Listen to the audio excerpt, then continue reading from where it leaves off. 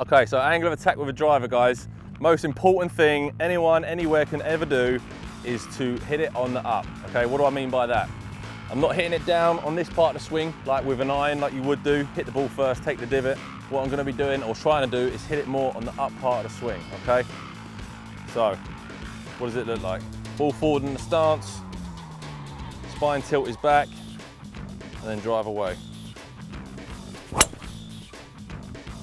Okay, so the number one benefit in terms of angle of attack is reducing the ball, uh, the backspin on the ball.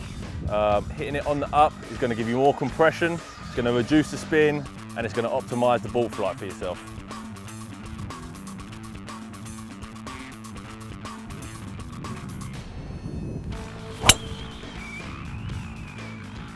Guys, give it a go. Let me know how you get on.